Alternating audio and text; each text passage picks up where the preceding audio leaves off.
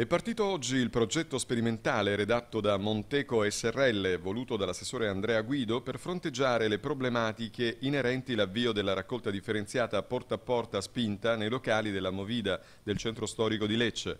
Il sistema di raccolta differenziata da utenza non domestica tramite Ecomobile va a integrare il normale servizio già attivo, persegue gli obiettivi di incrementare la percentuale di raccolta differenziata in città e va incontro alle esigenze delle utenze non domestiche presenti nel centro storico, al fine di tutelare il decoro e l'igiene urbana, concentrato dal 15 luglio fino al 15 settembre, periodo di maggiore fruizione del centro da parte di visitatori e residenti. Ciascuna utenza potrà conferire direttamente i propri rifiuti all'interno di idonei automezzi in sosta presso apposite stazioni, opportunamente segnalate attraverso paline informative. Le frazioni oggetto di raccolta saranno l'organico, il vetro metallo, il cartone e la plastica.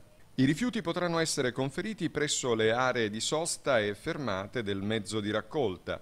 Il conferimento diretto della frazione di rifiuto da parte dell'utente nel mezzo di raccolta sarà assistito e monitorato dall'autista dell'automezzo che vigilerà sul corretto conferimento dei rifiuti.